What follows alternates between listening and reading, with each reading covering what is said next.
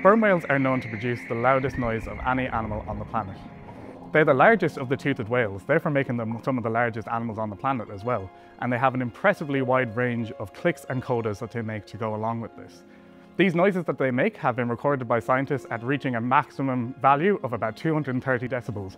This is almost as loud as a jet engine from 100 meters away. They produce this noise by passing air through their nasal passages up to an internal organ called the phonic lips.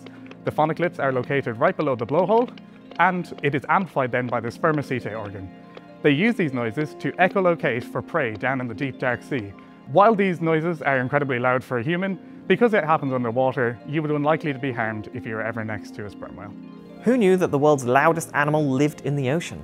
If you want to find out more about sperm whales, I've been chatting with Jack in our whale store, which you can watch here. And as always, don't forget to like, comment and subscribe to our YouTube channel.